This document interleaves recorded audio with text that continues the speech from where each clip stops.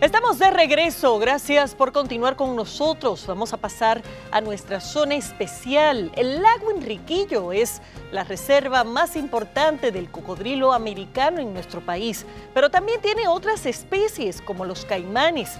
El señor Feliciano Santana, quien es nativo de Villa Jaragua, tuvo un encuentro cercano con uno de estos animales recientemente. Fue atacado mientras hacía sus actividades habituales de pesca en una situación en la que apenas logró salvar su vida. Nuestro compañero Abraham Marmolejos se trasladó hasta la provincia de Bauruco y nos cuenta del drama que vivió Feliciano.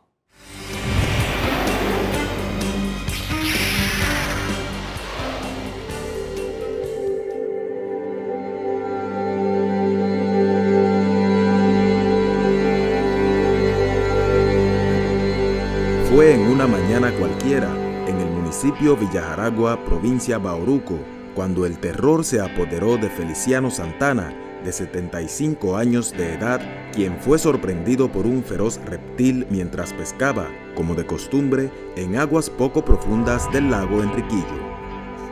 Bueno, yo entré a las, 6, a las 7 de la mañana y, a no tuve tiempo, ni, no me dio ni las 7 y media llegando, me agarró ese caimán que llegó nomás a morderme. De manera repentina, un caimán aparentemente irritado se abalanzó contra su pierna derecha, causándole graves heridas. Narra que en ese horroroso momento pensó que no saldría de allí con vida. No me dio ni siquiera un mareo, me quedé conforme a lo que sea. Ya yo estaba rendido ahí ya, que ya si él va y me soltó y vuelve otra vez, yo sé que iba a terminar mi vida me la iba a terminar. Y yo no me valió más nada, no me bocear.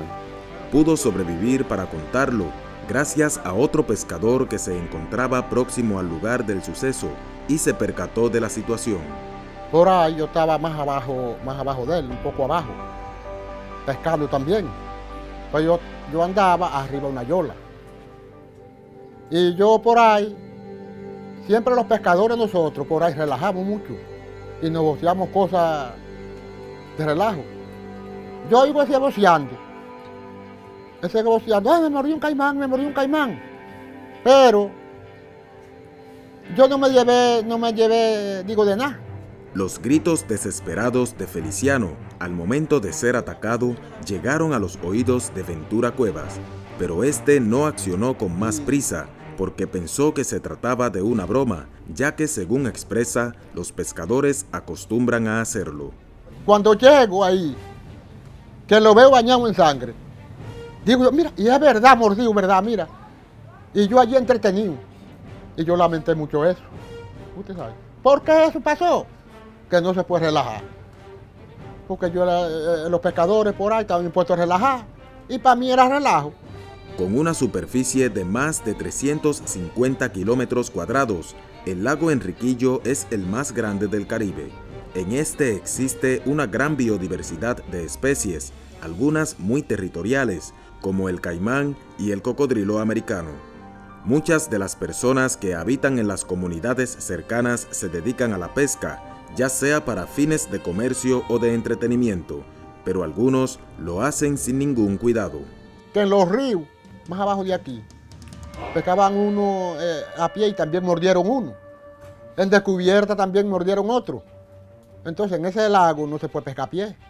Luego de esta terrible experiencia, Feliciano asegura que no volverá a pescar en el lago y sugiere a quienes vayan a tener más cuidado y hacerlo con las medidas de seguridad correspondientes.